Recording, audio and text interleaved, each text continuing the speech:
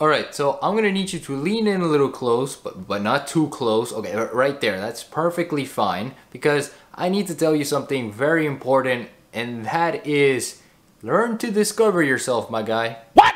Now, what does that mean? You're probably already asking. Learning to discover myself? What, am I some kind of hidden artifact in ancient Egypt that somehow needed to be dusted away thousands of years later by some English archaeologist in the 19th century? No, no, no, no, that's not what I mean here. In reality, what I mean by discovering yourself is really ask yourself questions about who you are, where you come from, all of that shebang. You see, sometimes in society we lose ourselves and we lose our individuality that makes us who we are and also diminishes the creativity that allows us to stand out from the crowd and be unique with the skill sets that were given to us and that we were able to develop over time. And when we lose all of that, that individual aspect of ourselves, then that means we're kind of losing ourselves in the process. And sometimes we kind of need to sit back take a few moments to think about it and say and really really discover who we are and what we're meant to do in this life. You see now the process of discovering ourselves really has a couple of key phases. The first one is obviously reflection. And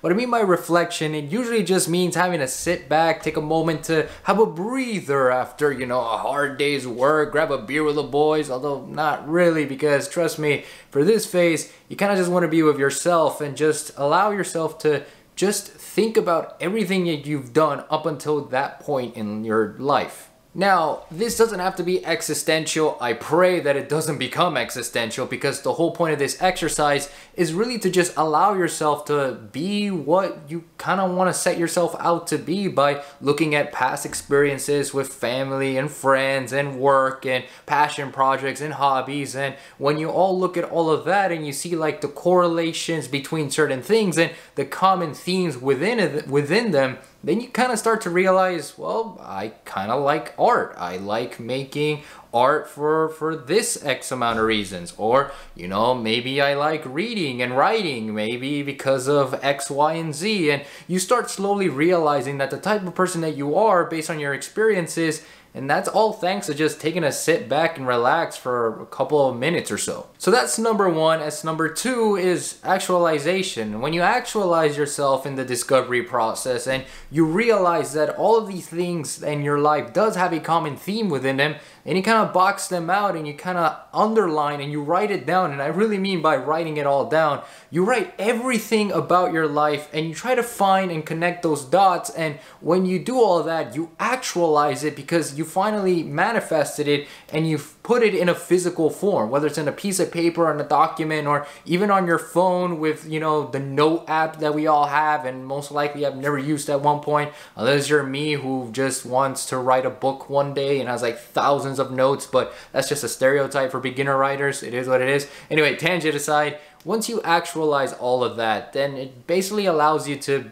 be more of who you are because you're seeing it in that piece of paper. You're seeing it right in front of you and you realize from that reflection, you're making it into a reality and you're saying, oh, so this really is me at the end of the day. This is discovering myself now. This is the type of person that I really want to be, or rather, this is the type of person I've always been, but I never realized it up until this point. Now I'm actualizing it. And with that leads us to the third phase, where once you've reflected and once you've actualized, the third one is execution. Now, execution can take time because trust me, it doesn't necessarily have to be at that moment in time. Once you finish writing, now you're gonna be like, oh my god, now I'm gonna be a famous artist now. Like, and you non-stop grind, hustle, culture thing. No, no, no, no, no, no.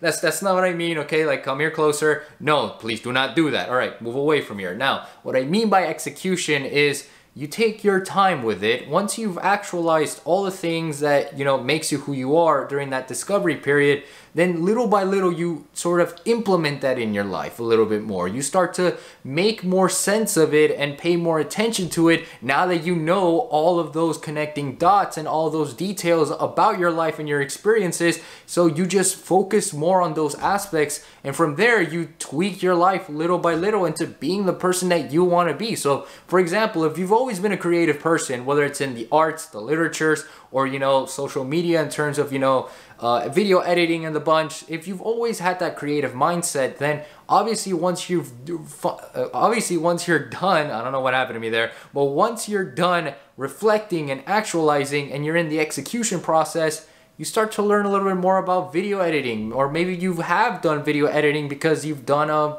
you know a video presentation for a school project and you really enjoy doing that. So once you pay attention to all those things then you start to really implement it in your life. You start to do more video editing tutorials or maybe you want to do a youtube channel about whatever topic you feel like talking about. But because of you really taking that time to reflect and to put it all on a piece of paper for you to see and truly truly actualize, then that execution process is like a no-brainer. You start to kick in in high gear, you don't even think about it, and next thing you know, you're probably a high-paying editor for a big YouTube channel out there, or maybe you're a big content creator out there because everything that you've actualized at that point, because you've written it down and you reflected on it, is all there to help you out and you became that person you've always meant to be. You really really discovered yourself along the way with the execution process. And so remember guys, always make sure to discover yourselves each and every single day, reflect, actualize, and execute because trust me, it'll go a long way towards improving your life and being the best version of yourself and being the most individualistic version of yourself because each and every single one of you have so many incredible gifts and skills out there